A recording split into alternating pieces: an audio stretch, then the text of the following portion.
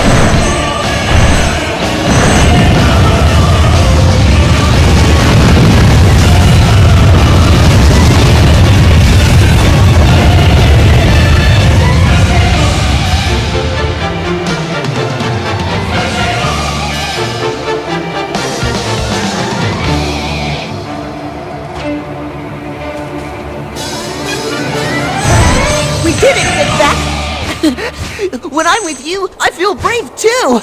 We'll get along real well. Yep.